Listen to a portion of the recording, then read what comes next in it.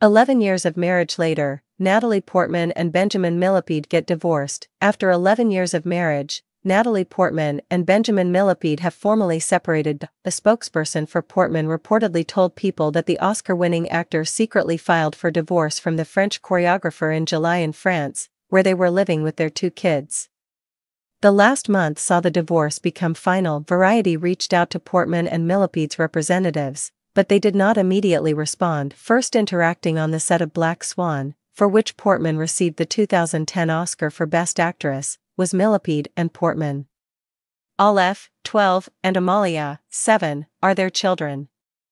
They were married in August 2012 in California with Julianne Moore and Charles Melton. Portman most recently acted in Todd Haynes' May December, which is nominated for an Oscar on Sunday for Best Original Screenplay.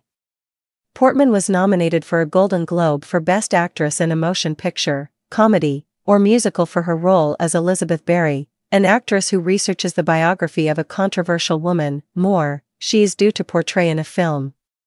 She will next be seen with John Krasinski in Guy Ritchie's heist movie Fountain of Youth and in the limited series Lady in the Lake on Apple TV+, which she is also producing. I and Denis Villeneuve's epic Dune, Part 2, which Timothée Chalamet and Zendaya's characters had to do to avoid being attacked by enormous sandworms, Millepied choreographed the desert sandwalk.